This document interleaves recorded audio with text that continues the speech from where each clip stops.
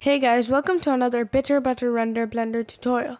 In this tutorial, I'll be showing you how to break objects into pieces and add a physics simulation to the pieces just like this. And now this is pretty cool. Make sure to watch till the end because this will help you a lot and let's get on with the video.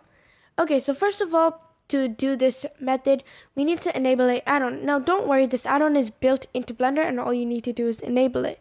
So to do that, we can go over here into the edit, then preferences, Make sure in add-ons and search up cell fracture add-ons. And you'd see that in the object section, there's something called cell fracture. And you can click on the tick button, which will enable it. Now you can click out of that. And now there are two methods to access the add-on.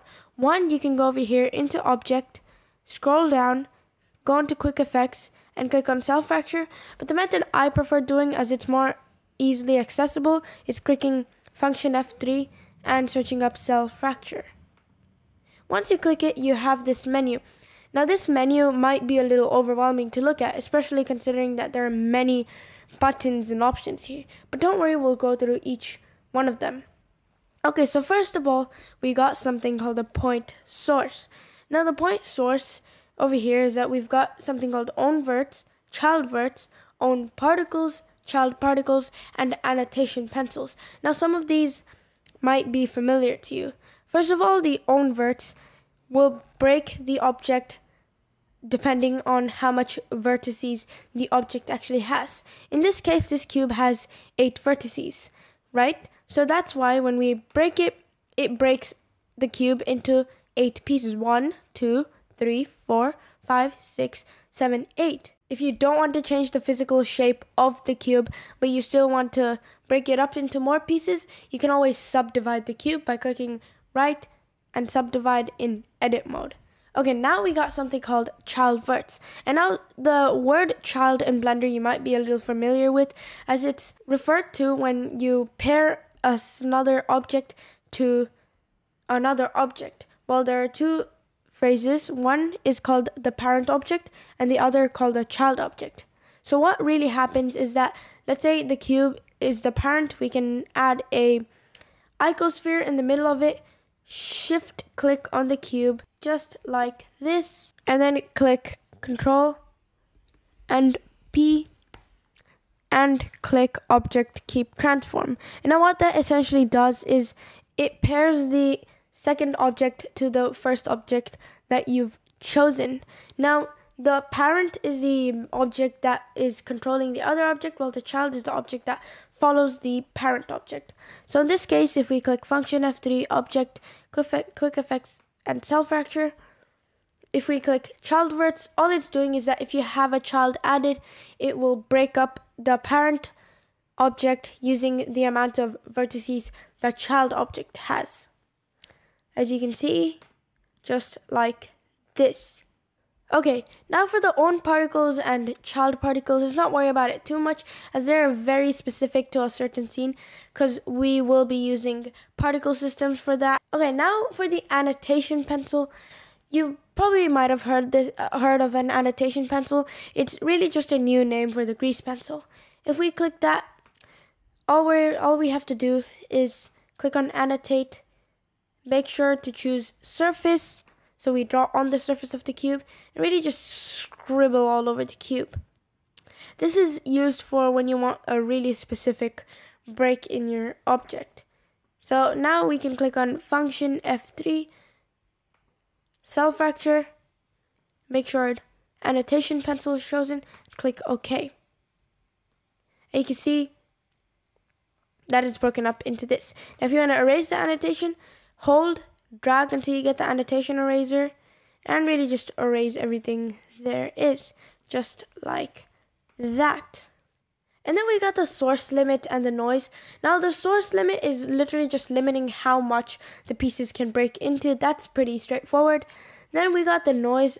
The noise is how uniform you want the objects to break. For example, with the noise of 1, if we break it into pieces, you see that all the objects are really similar to each other. While if we go with the noise of 1 or really any value in between, it the pieces will be so much more different to each other. Now, if you want the most realism, I would prefer going with a value of 1, but if you want just a straightforward break the pieces up into equal shapes, then I would prefer you go with the noise value of 0. Anywhere in between is fine as well. There we got the scale. Now that's really just the x, y, and z angle. Let's say if you want the pieces to be broken in more of like a column figure where they're stretched out, you can change those. But I usually just keep them at 1. Okay, now we got the second stage. That is called recursive shatter. And if you can't tell by the name, recursive shatter is literally just the pieces recursively breaking. For example, this recursion value shows that if the pieces are broken into eight pieces, how much times the broken pieces will be broken again. So if we have a recursion value of 2, the, the object will break into 8 pieces, then those objects will break another time. And then the source limit is literally just the same as this. It's literally just limiting how much time it recursively shatters the pieces into. And then these are just simple values that we don't want to worry about too much. Randomness obviously changes how random the objects move around or break into. And then we got what type of pieces it breaks into or where it breaks into, such as the cursor close or cursor far. And then we got mesh data. Now the mesh data is all about the texture and similar stuff.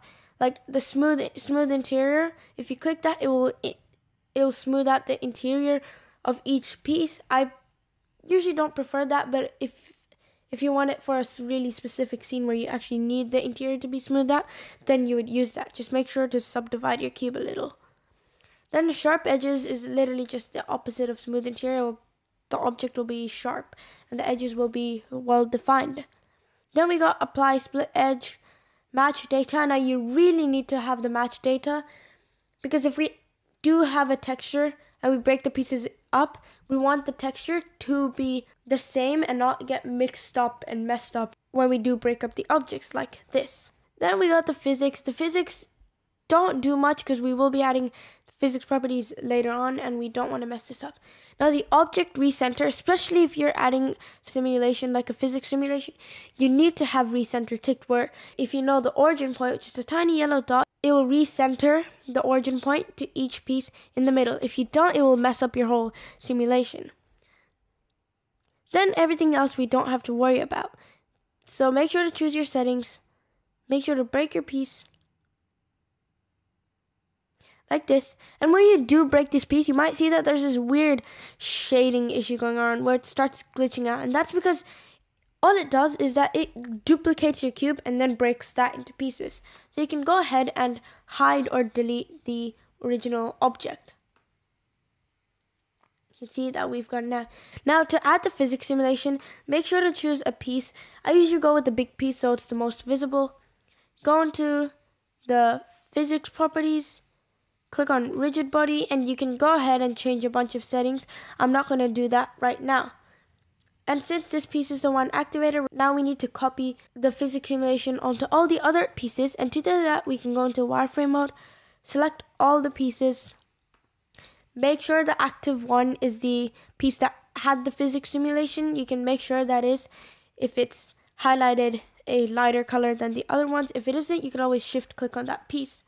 Then you can click on Object, Rigid Body, go down until you find Copy from Active. You can click on that and you can see that well we've added a physics simulation to all the pieces right now one issue is that when you do have complicated shapes the object might fly everywhere they might just go crazy and haywire and that's because they're really just touching each other right? And to fix that, all we can do is first of all zoom in a little. Go into wireframe. Choose all the pieces. Click on this. Click on individual origins. Scale and really just scale them a little tiny bit so it's not too visible that they're not touching each other, but enough so they don't go haywire and fly all over the place.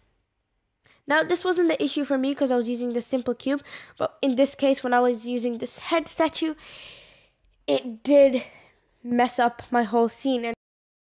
And now um, I've added a floor. I've set all that up. You can see that we've gotten a physics simulation for our cube.